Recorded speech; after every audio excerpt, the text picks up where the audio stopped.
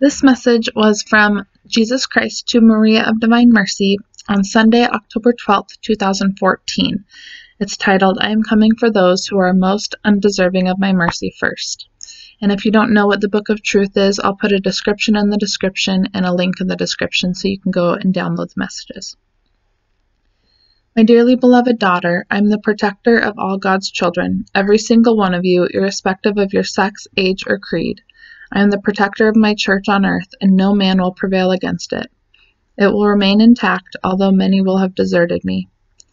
Those who desert me, who change the word of God, cannot say that they are of my church, for I cannot protect a church that does not speak the truth.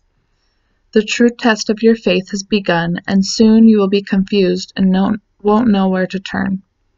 Be assured that, merciful though I am, I will never stand and allow traitors to desecrate my body.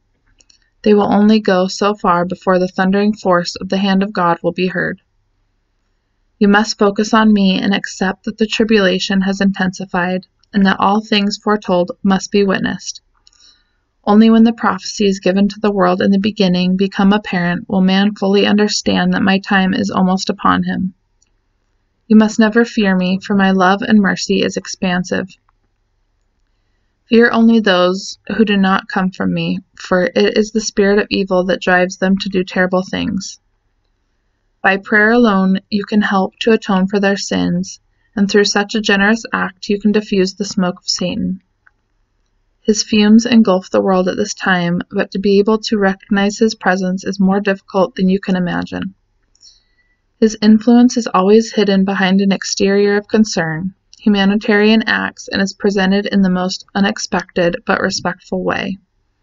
The man who is blessed with the, gift of discernment will understand how Satan operates.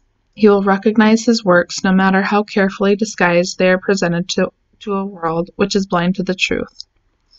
Soon my voice will awaken within the hearts of men their spirituality, a sense of who they are, an understanding as to whom they belong, and an awareness of the eternal life I will bring them. Know that when this awakening begins that the power of God will be felt as God's justice arises out of the ashes and when a beacon of light brings life back into the barren field which will have been left in a withered state by the evil one. My voice will be heard and many will be shocked when that day begins. It will peal out like thunder and every righteous man will bend down on one knee in praise of God. I am coming for those who are most undeserving of my mercy first.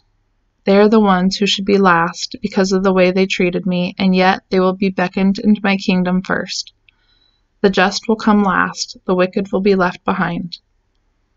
No stone will be left unturned up to the last second, and those who scream for my mercy will be given it.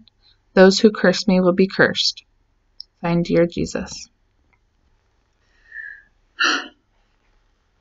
Just incredible. And that's all I really have for today. God bless you.